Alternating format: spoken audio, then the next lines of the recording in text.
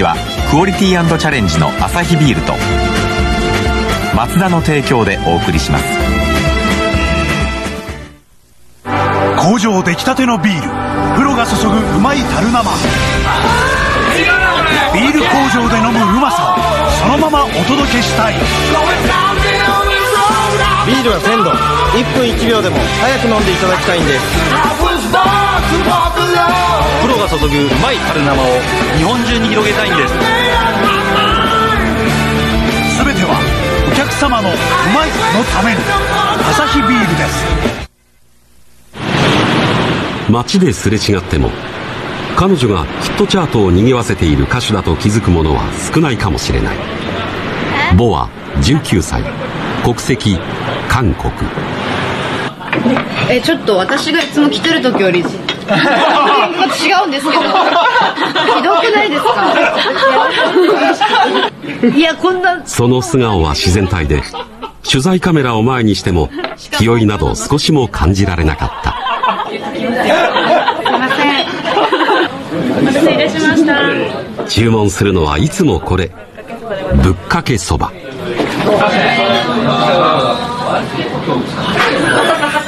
箸の先にそばを巻きつけるのは今韓国の若者の間で流行っている食べ方だそうだ。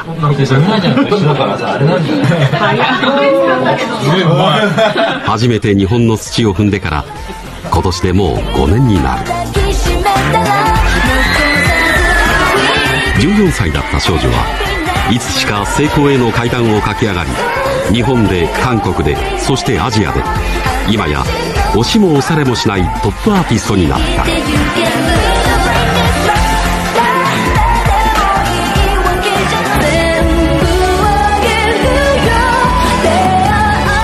並外れた歌唱力。言葉の壁を越えた表現力。彼女を支えているファンは幼い少年少女から大人たちまで幅広い。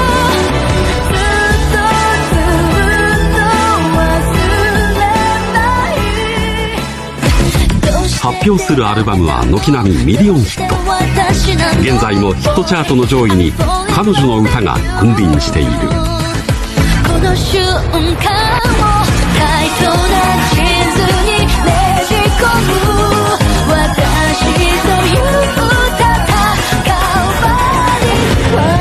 人の何倍も凝縮された日々を送ってきた。家族と離れ一人日本にやってきた頃はたすら言葉を学んだという。難しいですよね、外国人の女の子が他の国に来てその国の言葉で歌ってでその言葉でインタビューとかトーク番組とか外国語で自分を出さなきゃいけないんじゃないですか、はい。今日も、無事に成功させたらいいかなと思います、はい、よろしくお願いします。2つの祖国を行き来しながらボアは少女から大人になろうとしている。取材を開始したのは夏の初めだった。大丈夫じゃない。大丈夫じゃない。この日ライブ会場に現れたボアは右足を引きずっていた歌って踊れるアーティスト。それが持ち味なのにまともに歩くこともできないらしい。大丈夫痛い。はい。はい。はい。足裏。超ブサイクですよ私。の足ありがとうございますああ思わねえかあらどうしたの？急遽医師が呼ばれた最悪の場合は公演の中止も考えられる。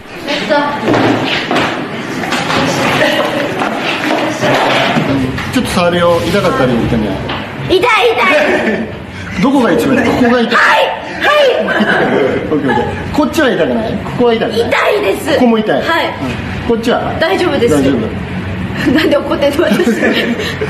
あどうするかね。これちょっとうん動けない。踊れないと思うよこれあとりあえず今応急処置としてはあの固定することと湿布を貼ることなんだけれども。どうしようか。どうしようか。今やって。でそれ固定して悪くなってもどうせ一緒じゃん。今日もう決まってることだからやるしかないし。ステージ何時からだっけ？7時やるやるやるか。本番は。一生懸命。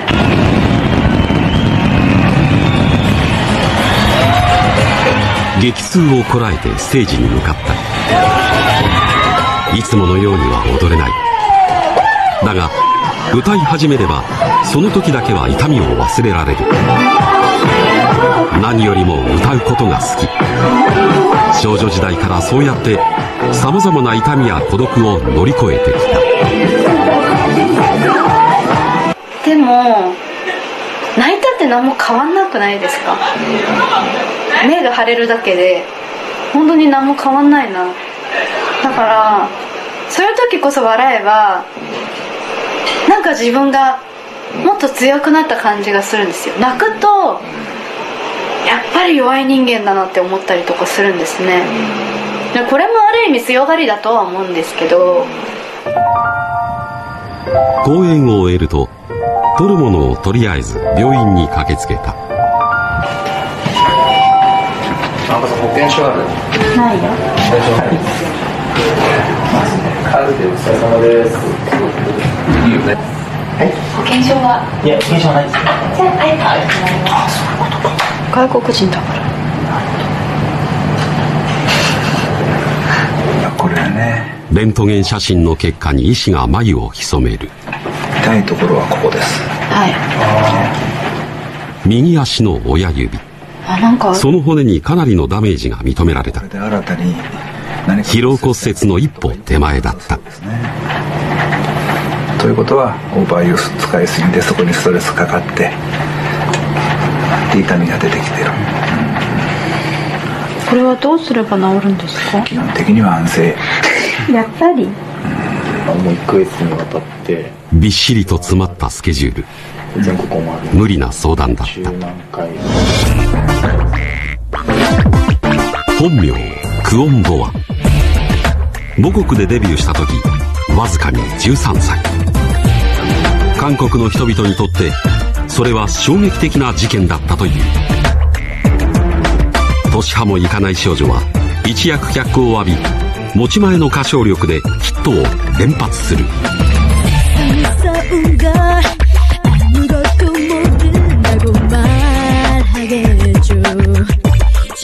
すでにこの当時からボアを日本のマーケットに送り込みアジアの歌姫に育て上げようという戦略が生まれていた。東京ソウル。その往復でパスポートが6冊にもなった。来日するまで日本のことなど何も知らなかったのに。私は最初日本人は必ず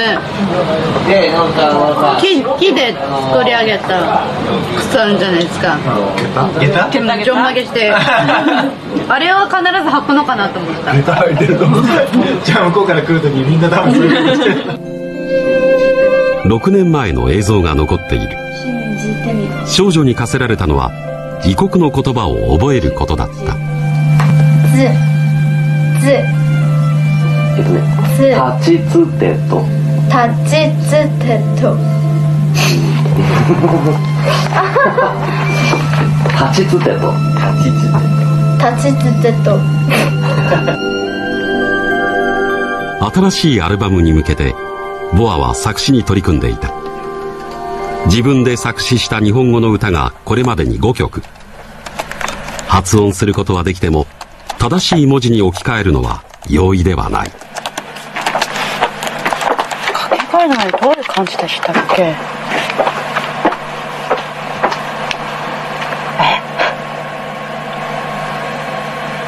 掛け替え。あわかった。これだね。この感じだよね。かけがえのない。違う？かけがえのないをね。漢字で書いたことないな。多分ね大体ここれで？ひらがえ辞書にはあったんですけど。日本語の難しさ。とりわけ限られた言葉数で思いを伝える歌詞には頭を悩ませる。そしてそれが楽しくなり始めてきた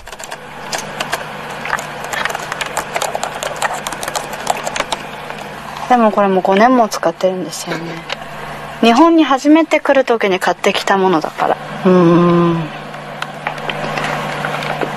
かけるっていうといろんな漢字が出るんじゃないですか、どれがどれか分からなくなるから一個ずつ見ながら意味を探していくんですね。であこの意味のかけるはこの漢字を使うんだって言ってこれを変換して載せたりとか。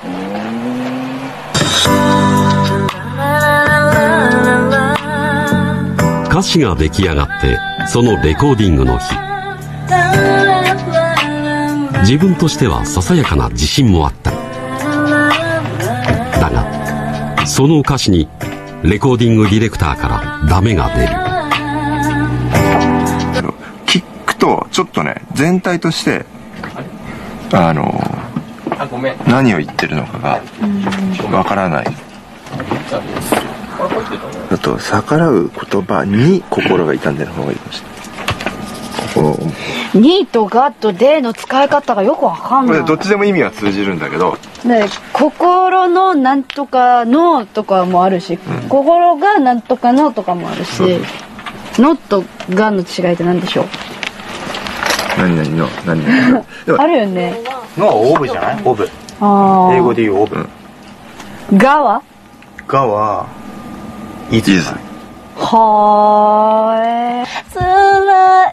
それは両親への感謝を綴った歌。れるのかな逆らう言葉に心が痛んで傷つくこともあるのでしょう韓国でデビューが決まった時も13歳で日本へ行くと打ち明けた時も両親は絶句したという。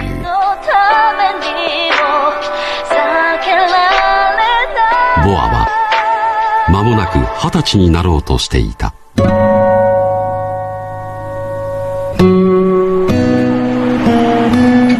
日本での活動が軌道に乗って以来日韓を行き来する日々が続いている。通なら誰もが通う中学校や高校には行くことができなかった。その代わりがむしゃらに勉強して中学と高校の卒業検定に合格した。当たり前であることへの憧れをいつも胸の片隅に抱えてきた。韓国には両親と兄が兄のオーディションについていったのがデビューするきっかけだったという。祖国ではいつも決まって実家で過ごす。あ特に韓国に帰るとママがご飯食べたくないのに食べなさいって言うと無理やり食べてる自分を見つけた時結構あ子供に戻ったと思う思うよね。仕事だといやちょっと後で食べるって言うとそれがこう納得できるんですけどママが作ってくれたご飯ってなんか食べるしかないよね。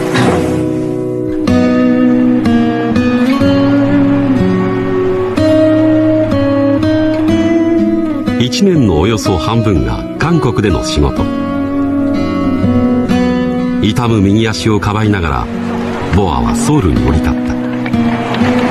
事務所の前には帰国を聞きつけたファンたちが待ち構えていた日本でトップアーティストの座についた彼女の存在は圧倒的だ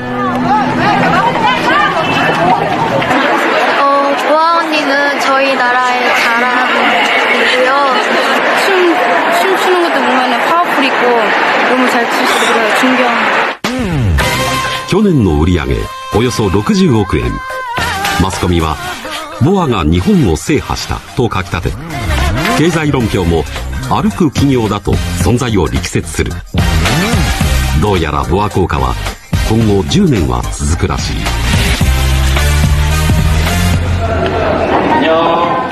スタジオでは デジタルカメラの広告に使われる写真撮影が待っていた 이따가 제일 중요한 게 셰프 찍은 거 있잖아. 거기 냉, 끝장면 약간 그런 느낌.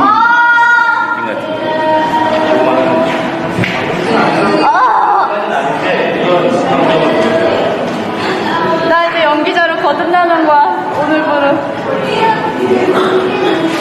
또 울어야 된대 또 울어야 된대 求めに応じて表情は驚くほど変化する少女と女 빼꼬 빼꼬 베리 빼꼬 빼꼬 빼꼬 この日もテイクアウトのランチ。帰国してもスケジュールはタイトだった。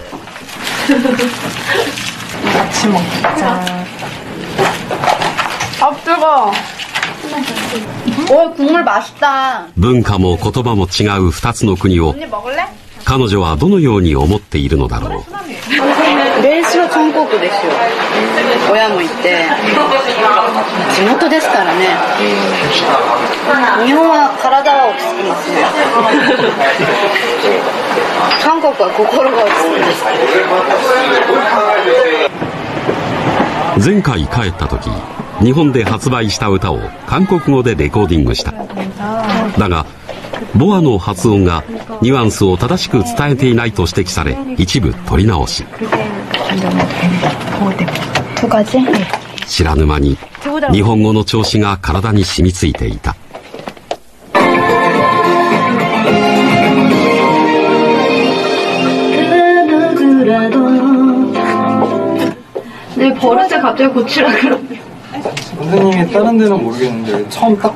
クヌグラドという歌詞。ぬ」の音の伸ばし方がおかしいらしい 해볼까요?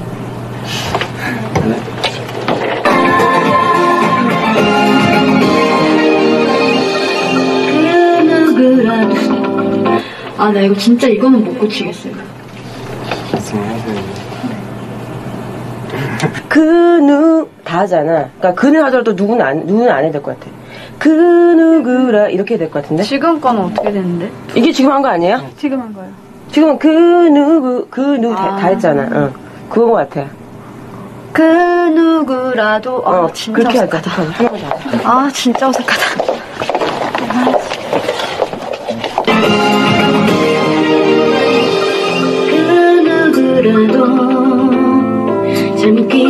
얘라도 좀 당기고 오케이 이렇게 하자. 아니 근데 솔직히 일본어가 밴딩은 더 심해. 一つの歌と二つの言語。ボアのアイデンティティがかすかに揺れる。う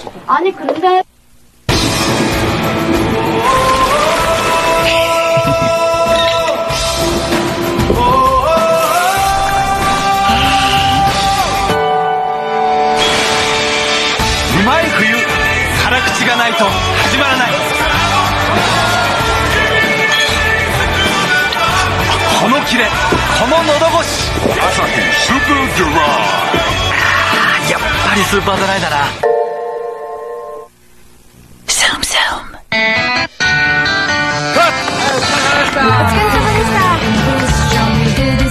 アクティブカジュアル。松田紅の。特別なデミを。できました。この走りがミニバンだというのかこのスタイリングがミニバンだというのか。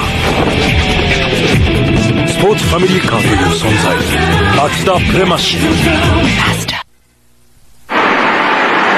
慌ただしく東京に舞い戻ったボアは相変わらず足の痛みを引きずっていた。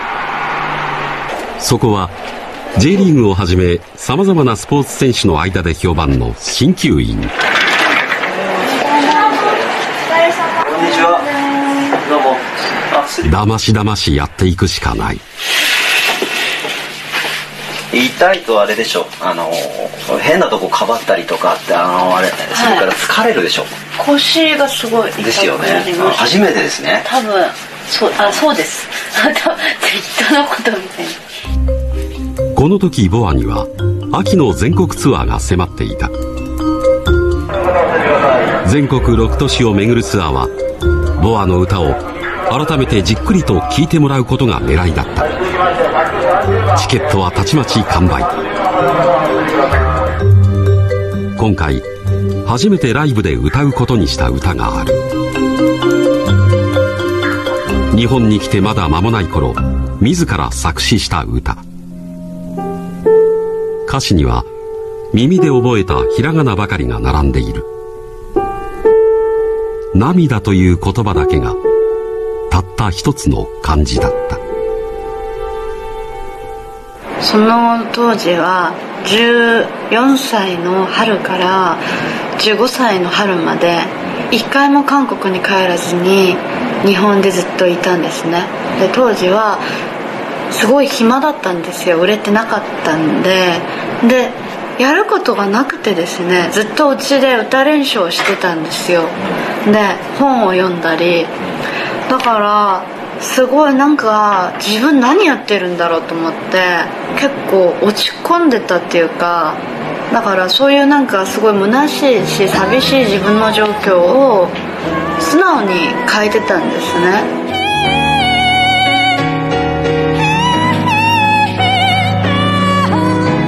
見知らぬ街で14歳の少女が味わった苦しいまでの孤独と不安。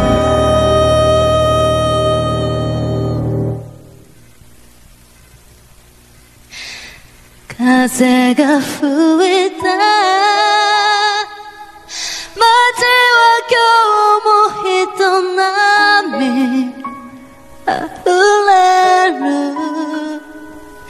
君の声が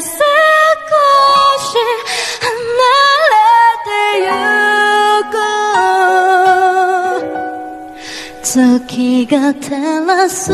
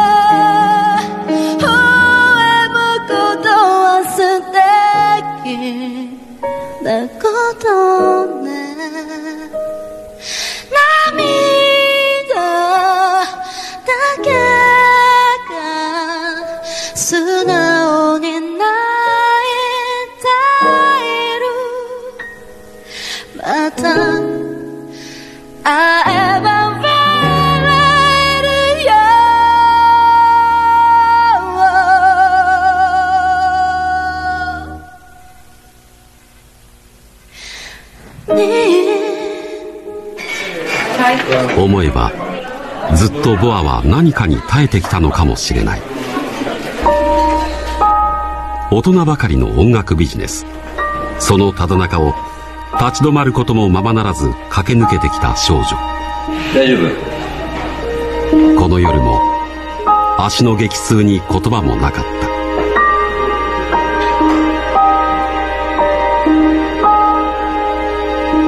ボアは一度だけ辞めたいと言ったことがあるわがままを通して休みをもらった。けれど一月しか我慢できなかった。やっぱり私は歌いたい。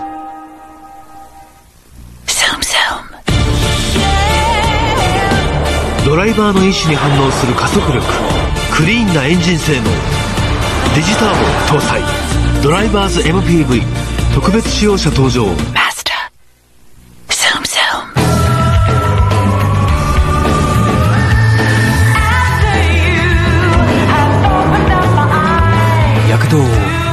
した。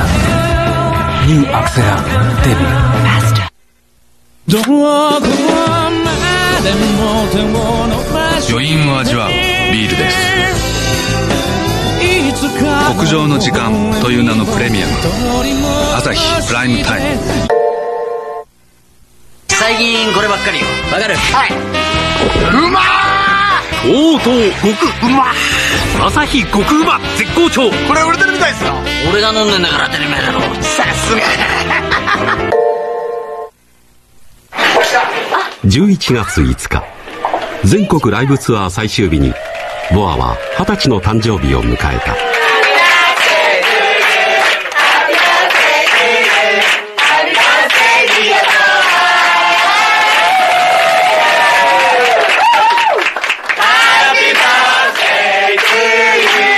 ステージの裏で仲間とバースデーパーティー。そうライブが終わっても外でねもう飲めるからさ。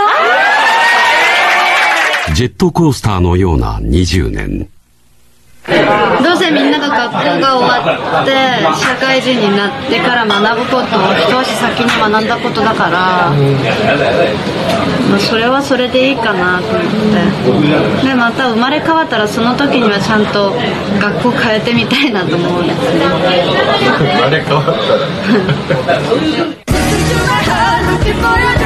ら 辛い時寂しい時いつも歌で自分を励ましたそしてただ懸命に歌ううち多くの誰かを励ましていただから私はずっと歌いたいそしてまた明日は韓国 내, 내일? 내일, 내일 가요.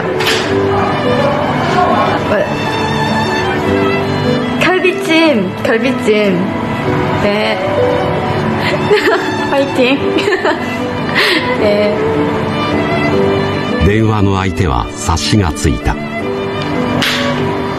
誰 お母さんです。